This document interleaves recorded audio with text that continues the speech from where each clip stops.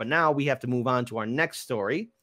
And this has to deal with something that's very uncomfortable to talk about, but we have to address it. So I might be talking about this for a little bit longer, um, but I, I, I can't summarize this article too much, which and, and it would and would not be fair to, um, to what happened to Miss Tara Reade when she was sexually assaulted by Joe Biden. So this is an article piece. This is an opinion piece from the uh, Guardian. You can see all our show notes in our description box below. Um, and I'm going to just start off again. Uh, Viewer discretion is advised. Uh, critics of Tara Reade, the woman who has accused Joe Biden of sexually assaulting her in 1993 when she was a staff assistant in a Senate office, claim that if her story were credible, she would have told it sooner, and the mainstream media would have covered it. In, in fact, as her tweets and emails to reporters, media outlets, politicians, and organizations demonstrate, Reade has been trying to tell her story for nearly a year. Let that sink in for a minute, everyone. She's been trying, trying to tell her story for a year but was ignored or turned away. Hmm. Kamala Harris, Elizabeth Warren, where are you at? Uh, this is why she wound up telling her story publicly for the first time to me on my podcast.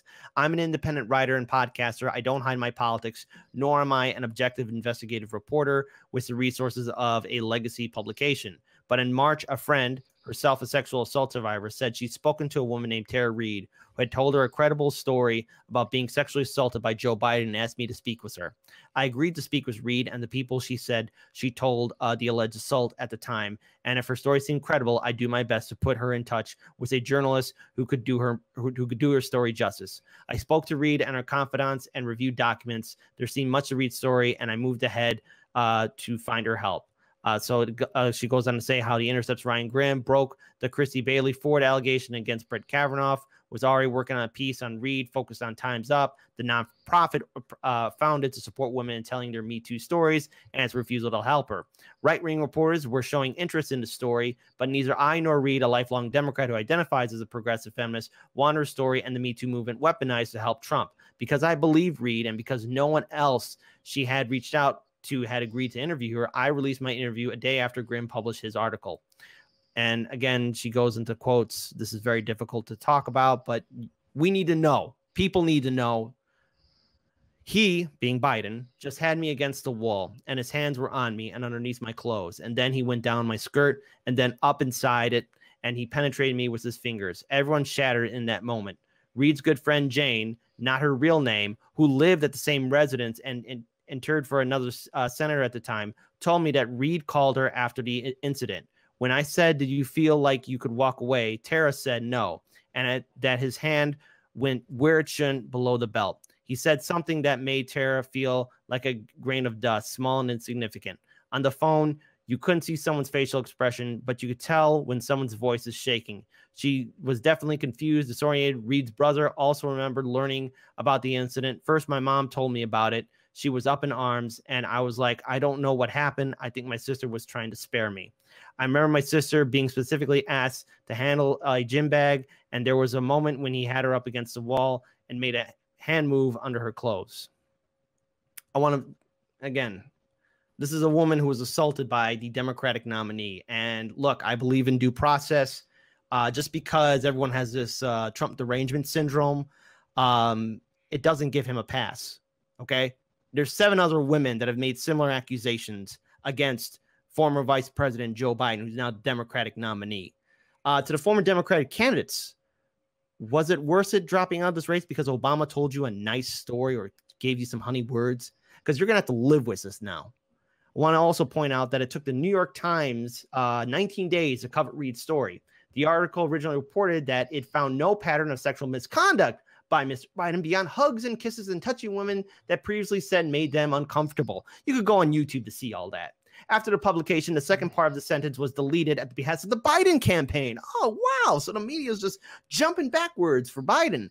As the paper's executive editor actually admitted, the campaign thought the phrasing was awkward and made it look like there were other instances in which he had been accused of sexual misconduct. There's seven other incidences. Huh.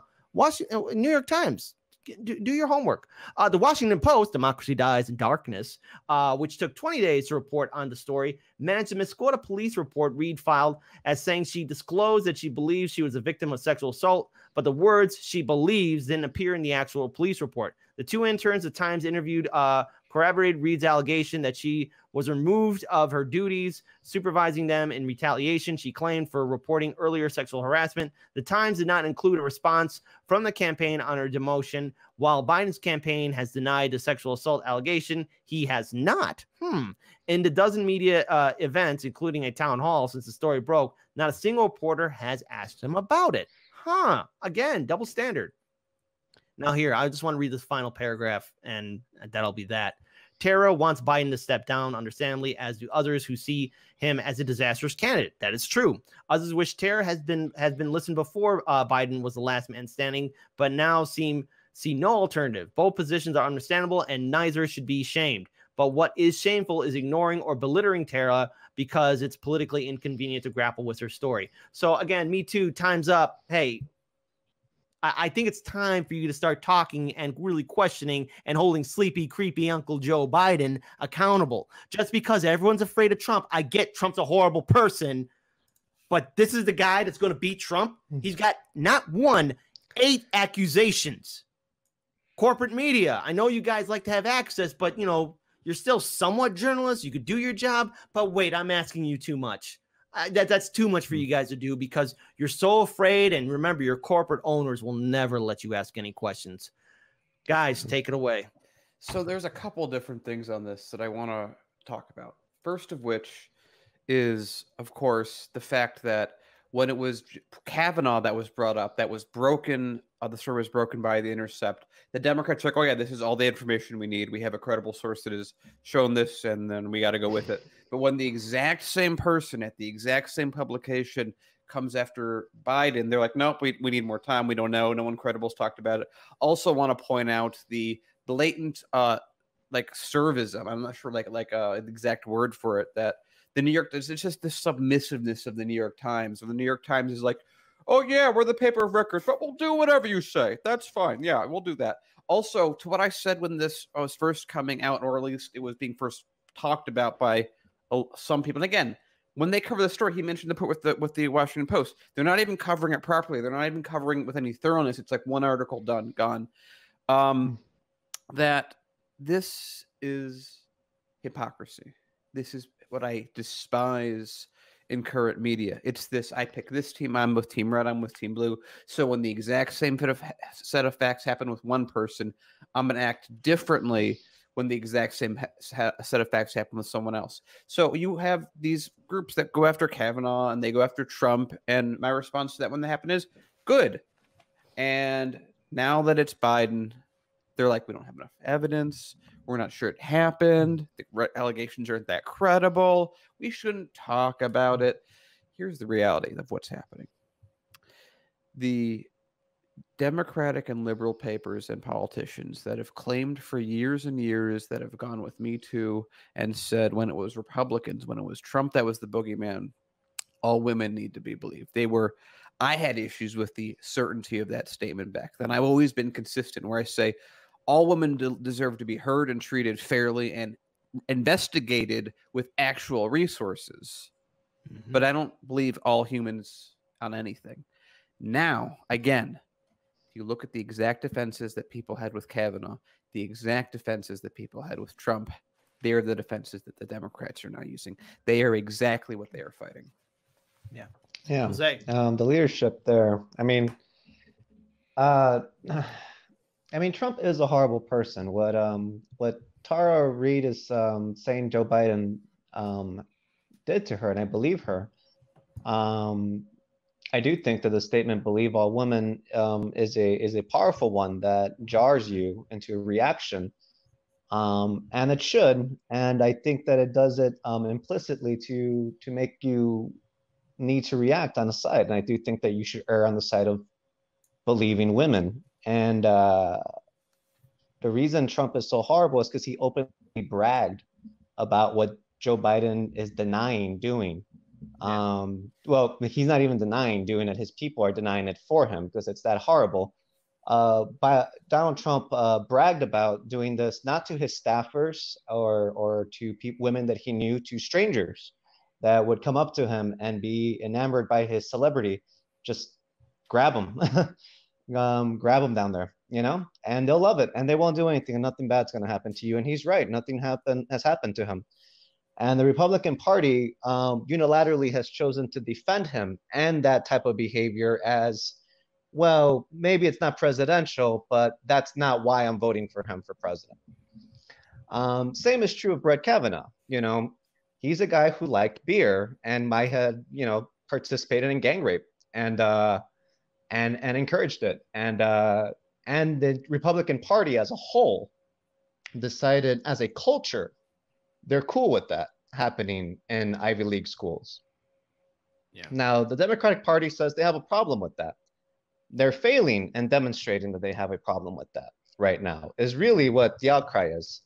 And I really don't wish to weaponize Miss Reade's story, but the fact that she has gone to such lengths for it not to be weaponized by the right wing media to be used as a cudgel in such a cynical way, uh, and has gone to these lengths instead to go to progressive reporters in which she trusts her her personal uh, uh, story with, her personal life with, uh, in order to be heard at this opportune moment, is really um, the the part of the story that's never going to go away for the New York Times, never going to go away for the Wall Street Journal, mm-hmm. never going to go away for CNN. Yeah. Um, this was someone that was part of the very culture that was a victim of the very culture that you said you were out to rectify. Um, and it is disappointing to hear that figures like Elizabeth Warren and Kamala Harris were were silent about it. But it speaks really, in my and I'm getting a little on my soapbox now, but it's just you know this is a topic that is definitely needs to be unpacked all the way through the election um, because the Me Too movement as an institution, as an organization, might have failed, but the Me Too movement as a movement, I don't think necessarily um, is failing in the sense that uh, Joe Biden might be brought down by this, and he should be. Um, it is having powerful people uh, like Trump uh, be said, you know what? Yeah, there are men like Trump that might get the job done and they might go kill the bad guys, but not going to get medicine to your family in time. They're not going to mm-hmm. bail you mm-hmm. out of your rent. Mm-hmm. and they certainly aren't going to be there with a manufacturing jobs, no matter how much bullshit they said about immigrants taking them away. So if that's who you want as president because he talks tough, uh, you and your family kind of deserve to die of the plague. It's kind of what the world looking at the US right now should be feeling, I think. Um, so I think that the Me Too movement is not hypocritical, and I don't think that it's a failure. I think that right now it's really where it's going to shine through and which allies they've won out and then which hypocrisy they're not going to put up with anymore. I don't I, think that in and of itself it will bring down Joe Biden, but I think it's something that will really speak to the culture of power mm. um, at a time where we're looking at how much the the very heights of power have failed us all on this planet.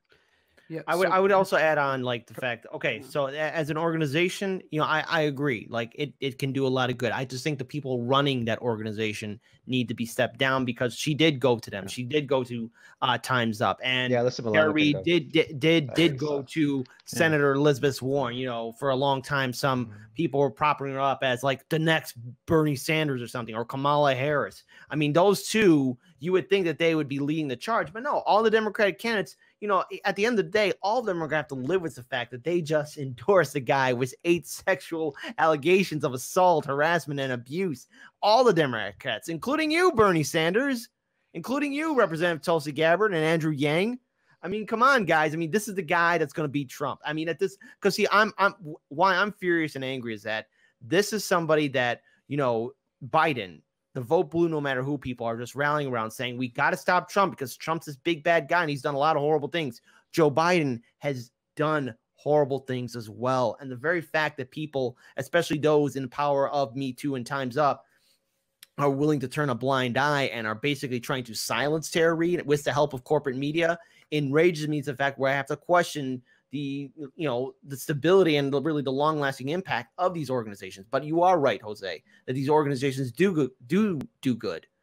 I just think leadership needs to be removed, and also we have to kind of really hold the politicians accountable too, because the Democrats uh, have just basically shown their hypocrisy as well. Daniel, what's the final yeah, word? And I'm so, pretty sure Jerome, you want to add into. Yeah, the last time bit. we talked about this, this also is perfect. The way that the the way by trying to hide these allegations now, all that the Democrats are doing is giving Trump fuel later. Because yeah. if right mm-hmm. now, like I said this a month ago or whatever it was, if right now all the major news stories like, okay, look, we're going to spend a week talking about this, we're going to interview all the people, and then we're going to come to our natural conclusion, just like when police officers investigate themselves and say there's an inconclusive amount of evidence, there are claims, there are a, there's a smaller amount of claims that they're, the, however they want to rationalize that. If they went through that process right now, by the time November happened, it would be the same thing it was for Trump. It would be something in the back mirror that anytime anyone brought it up, they mm-hmm. would just say, "Hey, this has already been adjudicated. Stop bringing it up." Blah blah blah. But the fact that they keep trying to hide it and suppress it, the fact that there is a um, some documents that Joe Biden is, I think it's Joe Biden is not is refusing to release, or someone about the allegation when uh, it happened the first time that, that he's not releasing until I think after the election. Well, that's one of the best. Can you think of a better rhetorical attack for Trump to hit Biden with? Biden Biden thinks he's such a good guy, but he's yeah. not even released the the documents on the women he abused. He has the control to do it. He's not doing it. Look at him. What a fake. What a fraud. He can go down this exact line. We are in a situation, by the way, Democrats are dealing with this because when it happened to Trump, Trump just said, "I don't give a shit. I don't care. You're, what are you going to do to me? I don't care. No one cares about it."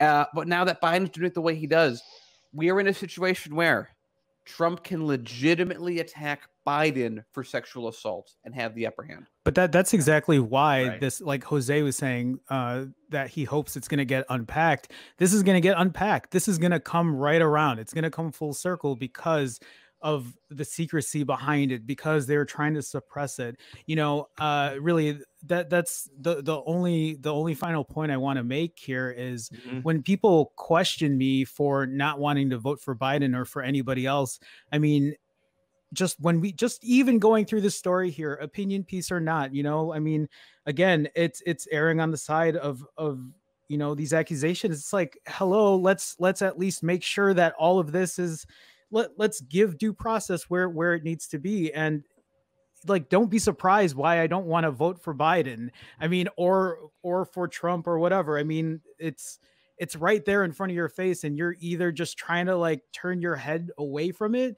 I don't I don't know who doesn't know this by now, but yeah, by that time a couple months down the road, Trump is not going to stop talking about it. I'm sure this is going to be an issue that people are going to keep bringing up and keep bringing up until it is brought to the surface.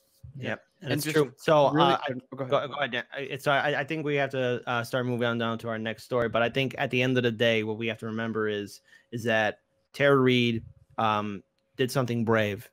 She chose to step up, and even when there were those in power who could have helped her, you know, just ignore her she still kept on fighting. And I do believe that here, here's here's the thing. I believe her story because there's seven other women saying the exact same thing, and I believe that she is due for with due process. I believe that Biden should be held accountable because he is not above the law. And if that upsets the vote blue, no matter who people, too bad, so sad.